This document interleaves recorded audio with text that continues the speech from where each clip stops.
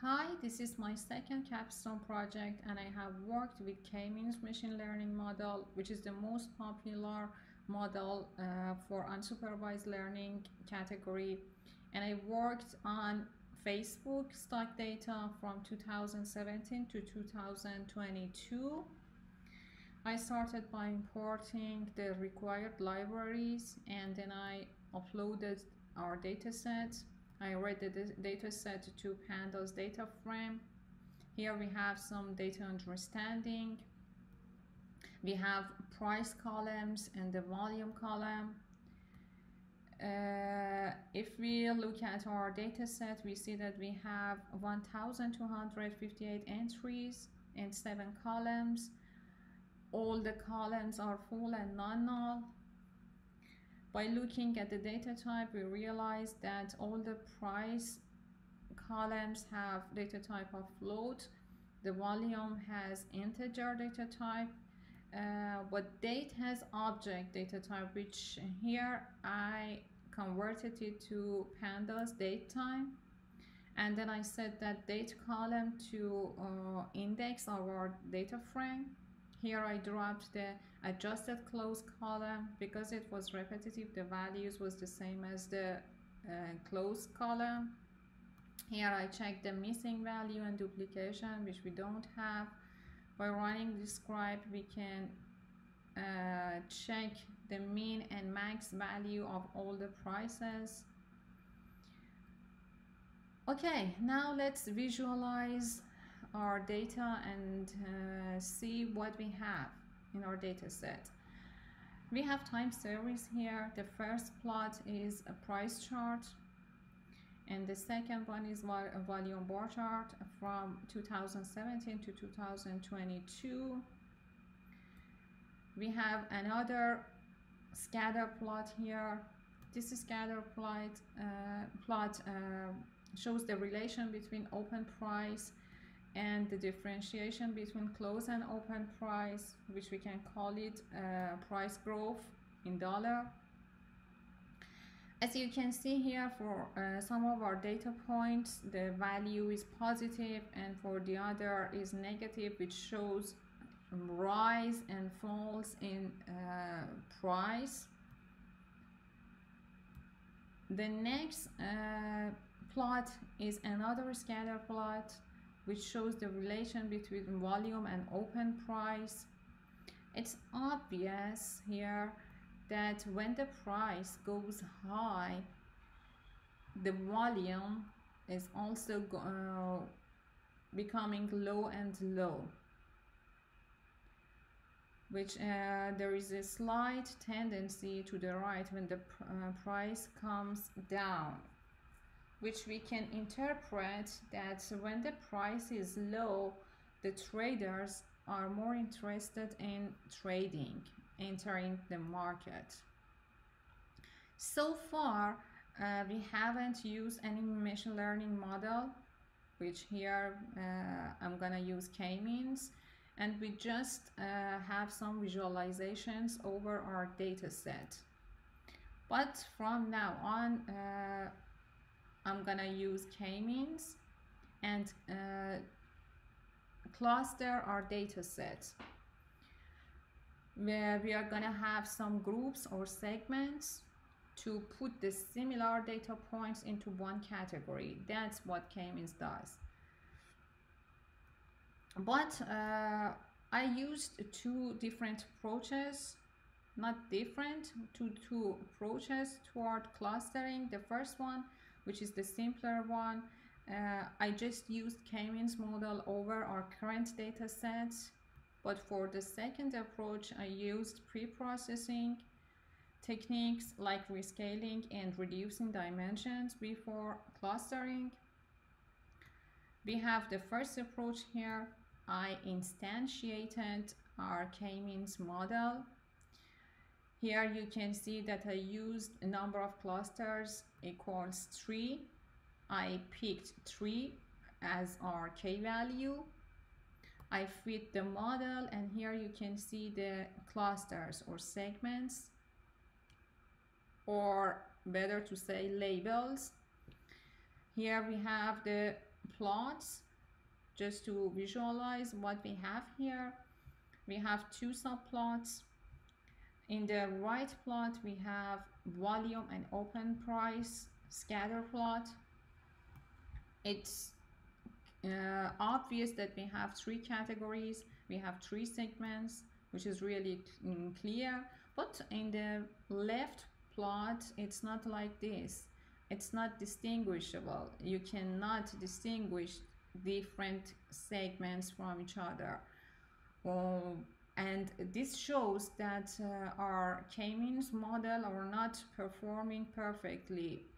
We need to improve the performance. We have a metric which is called inertia or SSE. SSE stands for sum of squared errors, uh, which shows the performance of the model and here this value shows that the performance of our model is not good so we need to do something to improve our uh, improve the performance of our model what i picked here uh, i used three steps the first one was standardizing the data using standard scaler from scikit-learn library and then i used pca modeling. Uh, PCA uh, is principal component analysis, which we use for uh, reducing the number of features, which in our project we have five features, to desired ones, which we need two features. We choose two features just to make the visualization and analysis easier because it's easy to visualize uh, in two dimensions rather than five dimensions. And then we need to find the optimal K, which we use elbow method, and then we can model. For pre-processing, I used a pipeline from scikit-learn library. In our pipeline, we have two stages, scaler and PCA. First, I fit the model and then I transform the model. Here we have transformed data set which has two features 1258 entries or rows and two features. And then here I used another pipeline just for uh, k-means clustering. As you can see here I have not used any k value because we are gonna find the best k value later but before uh, going to the modeling part, I just want to explain a little bit about PCA or Principal Component Analysis uh, method. PCA uses weights to assign to each column or feature and it gives us components which here uh, let me show you here I chose number of components to two which means I want uh, PCA to reduce the number of features to two because we need two dimension data set. Uh, PCA component in our um, project is an array of 2 in 5 and each element of the array indicates the weight of the corresponding original feature in the principal component. Here I pulled out uh, the component from uh, our pipeline as you can see, we have two components here, which shows the weight that PCA has assigned to these here it shows that we have two components and these values are the way that PCA assigned to different features and finally gave us two components.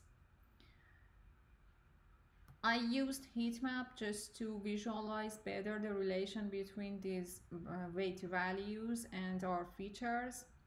This is our first component and this is our second component. For the first component, uh, we can see uh, that uh, price price features were more impactful on our data we can see that the first component is more affected by these prices rather than volume because the volume is um, really low here. And the color is violet. And for the second component we see that uh, the second one is more affected by volume which is red and red is almost 1 which is 100% relation. But for the prices the relation is not that much. So the, uh, the first uh, the result is that the first uh, component is more affected by price and the second component is more affected by volume okay let's keep it here. And then we have finding uh, optimal k by using elbow method. Here I, used the range of 1 to 10 just to test different k values. As we see here the more we increase the k values the less inertia or SSE error we have but that doesn't mean that we can pick any value for k. It is usual uh, that in elbow method uh, we pick the elbow point. Here we can say that elbow point can be 2, 3 or 4. I tried those values and then I chose 3 as a best value. Here you see that I instantiated our uh, K-means uh, model with optimal K. Again, fit the model so after this um, clustering model, let's see what we have. Here we have a plot. Our plot is two-dimensional. We have first principal component, which we talked about that earlier, and we have second principal component, which is more related to the volume. The first principal component, our uh, component is more affected by price but how we can interpret, how we can explain this plot, this scatter plot, which, which shows three segments. Here is our result. If we look at segment 0, segment 0 is the blue part. We can say that the average price has the average volume. This axis was related to the price because it was our first principal component and this one was volume. So this is the average price and average volume in this plot the segment one which is the orange one shows that the higher the price the lower the volume is. This is uh, here the price is high and then the volume is less than these two parts. Okay segment 2 which obviously is the yellow part the lower the price the higher the volume would be yes we have three segments after using K-means model and we can easily interpret this uh, chart. Okay, thank you.